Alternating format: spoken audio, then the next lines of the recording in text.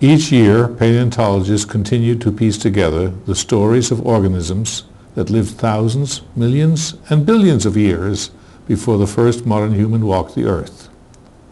The Raptor project aims at supporting both paleontologists and us, the visitors of museums around the world, to explore and understand these stories in an exciting and effective way.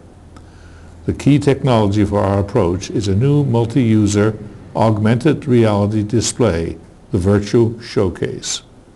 Here, a physical skull of a mid-Cretaceous raptor, a Deinonychus, is displayed within our virtual showcase.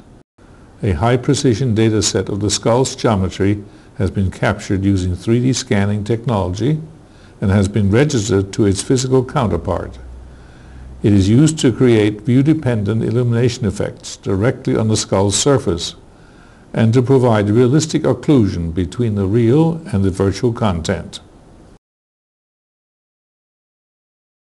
Missing parts such as muscles, additional bones, and the skin have been reconstructed using off-the-shelf 3D modeling tools. Here the reconstructed muscles and the bones are visualized stereoscopically after registering them precisely to the bone structure.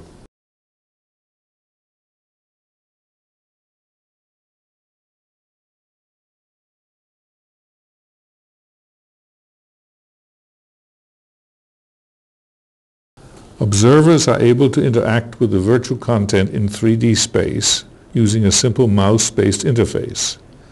This enables the investigation of the relations between muscles and the bone structure.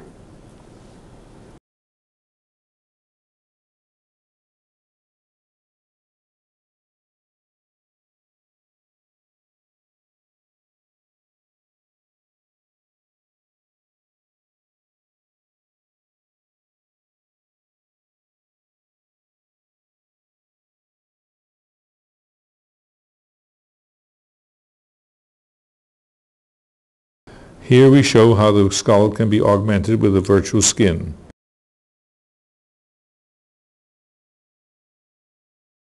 Our future work includes the integration of other rendering techniques, such as animations and volume rendering, to better meet a variety of application demands in a new area that we refer to as augmented paleontology.